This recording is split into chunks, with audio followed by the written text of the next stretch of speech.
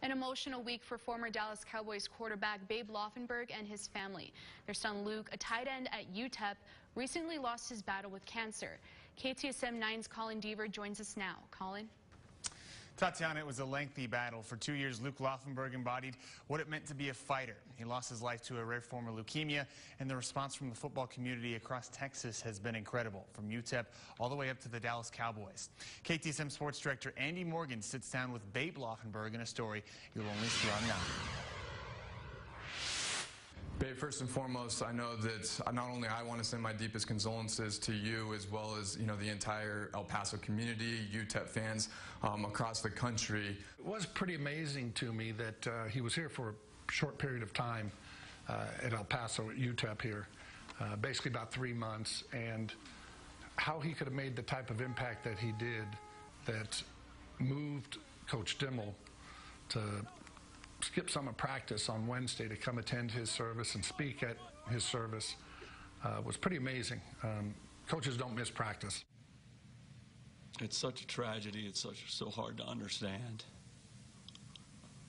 But I know I will, and anybody who ever knew him uh, will be uh, forever inspired uh, by the life that he lived.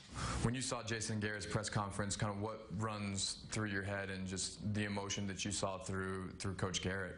I think it let a whole bunch of people that didn't know Luke uh, find out a little bit more about him, really in, in two minutes. And I've been friends with Jason Garrett for 20 odd years, and so he's known Luke every step of the way.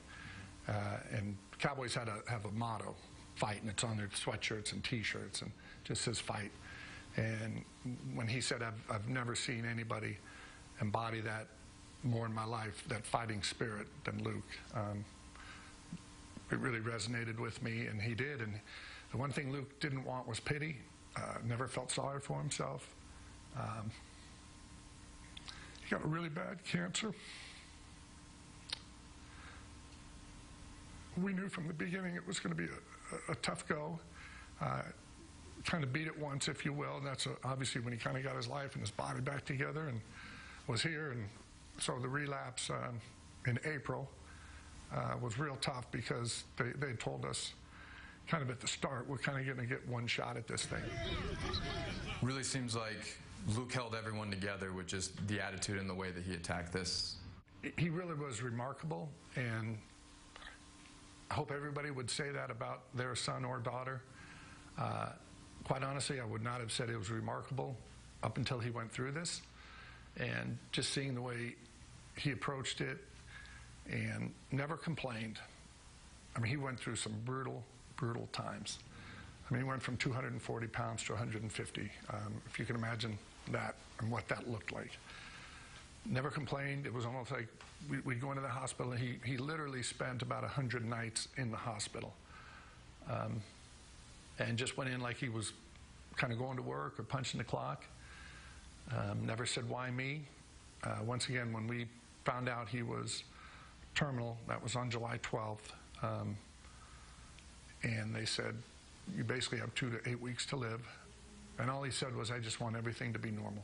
We went home and he said, I want everything to be normal. On August 22nd, he lost his life. What has been your response and kind of your standpoint from what UTEP has done? It's been really special and heartwarming. And again, it's a true testament to Luke that a guy could come in here for three months and have the kind of impact that he did on the coaches, his teammates, uh, the program.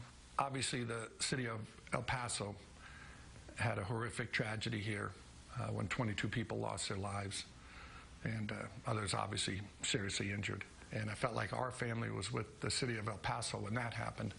And I, I really felt like the city of El Paso was with Luke and our family um, when tragedy struck us when Luke passed away.